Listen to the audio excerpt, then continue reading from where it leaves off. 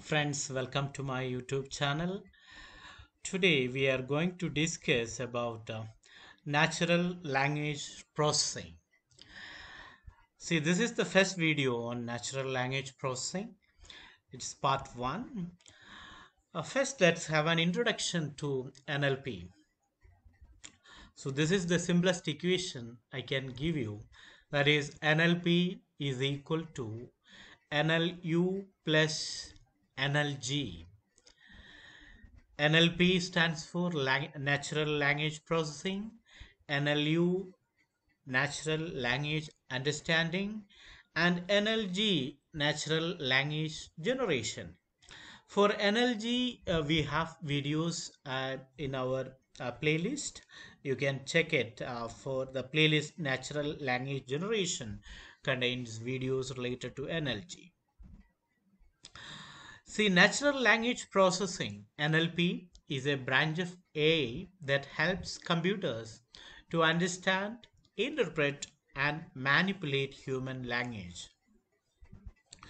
Natural language generation, that is NLG, is an important part of NLP, and NLU, that is natural language understanding, is responsible for understanding the content and NLG, natural language generation, is responsible for generating the content.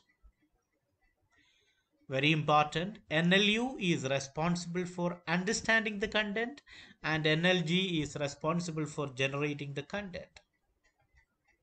Let's get into the advantages of NLP. See, most of the companies use NLP to improve the efficiency of documentation processes, accuracy of documentation, and identify the information from large databases. It's very time efficient. NLP offers exact answers to the question uh, means it does not offer unnecessary and unwanted information.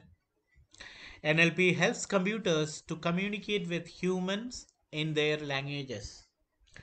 NLP helps users to ask questions about any subject and get a direct response within seconds. These are all the advantages. Now we are getting into the disadvantages of NLP. NLP is unable to adapt to the new domain and it has limited functions. That's why NLP is built for a single and specific task only. NLP is unpredictable. NLP may require more keystrokes. NLP may not show context. These are all the disadvantages of NLP. This diagram you know completely represents the components of NLP. NLP consists of NLG natural language generation and NLU natural language understanding. Uh, let's discuss about NLU natural language understanding. Natural language understanding helps the machine to understand and analyze human language by extracting the metadata from content such as concepts, entities, keywords, emotion, relations, and semantic roles. NLU is the process of reading and interpreting the language. It produces non-linguistic outputs from natural language inputs. NLG, natural language generation, acts as a translator that converts the computerized data into natural language representation. It mainly involves text planning, uh, sentence planning, and text realization. NLG is the process of writing or generating language. It produces constructing natural language outputs from non-linguistic inputs. What are all the applications of NLP? One is speech recognition. Uh, we have a separate playlist for speech recognition. Uh, even we have done the implementation of speech recognition using speech recognition package that is python package speech recognition package. And even we have uh, how we can do speech recognition in french. That's also those um, you know all those programs all those implementations are there in the playlist speech recognition.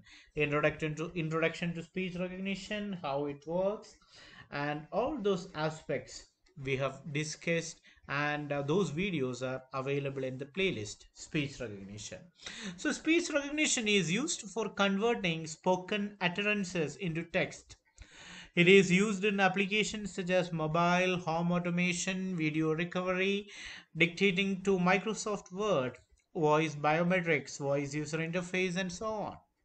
It's used in chatbot. Implementing the chat chatbot is one of the important applications of NLP. It is used by many companies to provide customers chat services. Information extraction. Information extraction is one of the most important application of NLP. It is used for extracting structured information from unstructured or semi-structured machine readable documents. Natural language understanding NLU it converts a large set of text into more formal representations such as first order logic structures that are easier for the computer programs to manipulate notations of the natural language processing. Applications of NLP again question answering questions uh, answering focuses on building systems that automatically answer the questions asked by humans in natural language spam um, you know spam detection spam detection is used to, to detect unwanted emails getting to a user's inbox. Sentiment analysis is another area. Sentiment analysis is also known as opinion mining. It is used on the web to analyze the attitude, behavior, and emotional state of the sender. This application is implemented through a combination of NLP and statistics by assigning the values to the text positive, negative, or neutral. Identify the mood of the context whether it is happy sad or angry etc you you are familiar with sentiment analysis for different you know e-commerce sites or you, you are you know that.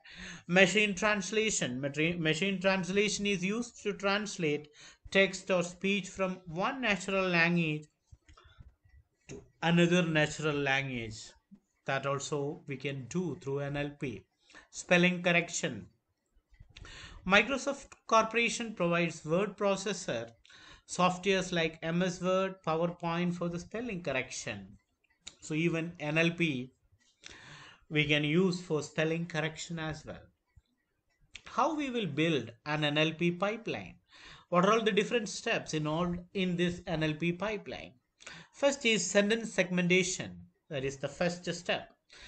Sentence segment is the first step for building NLP pipeline. It breaks the paragraph into separate sentences. That's all. If you have 10 sentences in a, into, in a paragraph, this uh, sentence segmentation break that those 10 sentences into separate sentence uh, in the paragraph. Next is word tokenization word tokenizer is used to break the sentence again into separate words or tokens. Stemming. Stemming, stemming is used to normalize words into its base form or root form. For example, celebrates, celebrated, and celebrating. All these words are originated with a single root word, celebrate. For example, intelligence, intelligent and intelligently all these words are originated with a single root word intelligent. It can assume like that intelligent. In english the word intelligent do not have any meaning. So in stemming they will take like that intelligent. But lemmatization is a more accurate process instead of stemming lemmatization is a quite sim it is quite similar to the to stemming it is used to group different in uh, different inflected forms of words called lemma. The main difference between stemming and lemmatization is that it produces the root word which has a meaning. In stemming the root word it created may or may not have meaning. Sometimes see for example intelligent it do not have any meaning. But in stemming always the root word has a meaning. That is the difference. For example, in lemmatization, the word intelligence, intelligent, and intelligently has a root word intelligent, which has meaning. Now, the next step is identifying stop words. In English, there is a lot of words that appear very frequently like is, and, the, a. NLP pipelines will flag these words as stop words. Stop words might be filtered out before doing any statistical analysis. Next is next step is dependency par parsing. Dependency parsing is used to, to find that how all the words in the sentence are related to each other. Next step is POS tags. POS stands for parts of speech that is parts of speech tags which includes you know noun, verb, adverb and adjective. It indicates that how a word functions with its meaning as well as grammatically within the sentence. A word has one or more parts of speech based on the context in which it is used. So that is known as POS tags. Named entity recognition, NER. Named entity recognition is the process of detecting, the named entities such as person name, movie name, organization name, or location that we call it as named entity recognition. That is the next process. Next and the final one is the chunking. Chunking is used to, to collect the individual piece of information and grouping them it into bigger pieces of sentences. That is the last process. Now we are getting into the different phases of nlp first one is lexical analysis.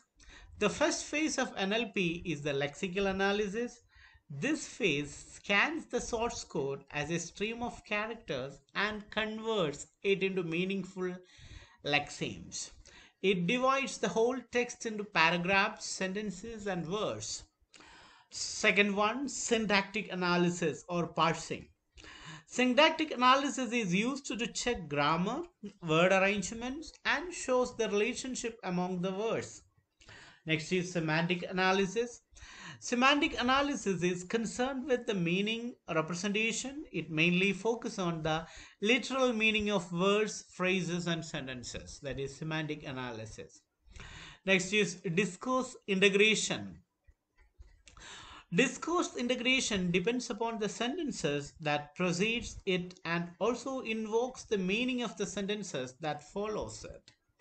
Pragmatic analysis is the fifth and last phase of NLP and it is the important one. It helps you to discover the intended effect by applying a set of rules that characterize the cooperative dialogues. That is pragmatic analysis. See, the most common NLP libraries we use are scikit-learn. It provides a wide range of algorithms for building machine learning models in Python Natural Language Toolkit NLTK. NLTK is a complete toolkit for all NLP techniques.